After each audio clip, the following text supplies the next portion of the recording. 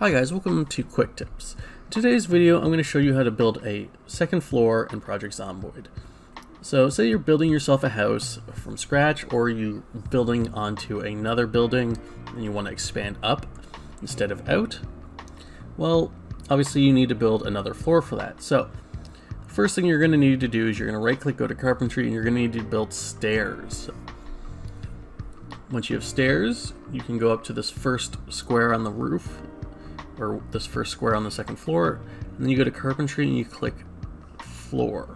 When floor, or if you're doing metal working, you do metal floor. And now you can start building your floor here.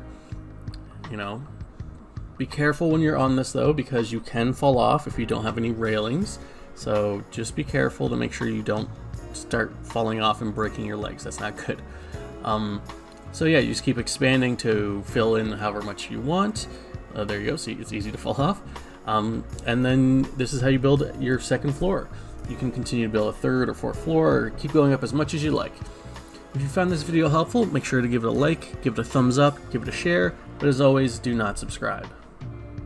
Thanks for watching, I hope my video helped you. If it did, please return the favor by leaving me a big fat like and a comment so I outrank those useless Let's Players with 20 minute videos. And if you want to take it one step further so I don't have to sell ugly useless t-shirts like all those other YouTubers, leave me a super thanks. It's a new feature, it's below where the arrow is pointing, right beside the share button.